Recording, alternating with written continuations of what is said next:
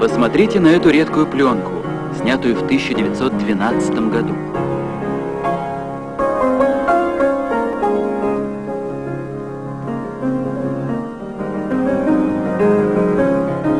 Борется Иван Поддубный.